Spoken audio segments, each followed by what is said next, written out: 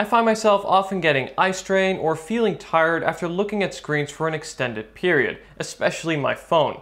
When OcuShield reached out with this product, I was very keen to hear more. OcuShield works by blocking up to 99% of harmful UV and blue light emissions, protecting against blue light exposure. Now, one of the most impressive features of this product is not just the fact that it blocks blue light, but also the way in which it does this, as they have found a way to do this with adding no heavy orange tinge to the screen protector allowing your phone's display to retain accurate and true colors. This is especially important to me as I frequently edit photos right on my phone.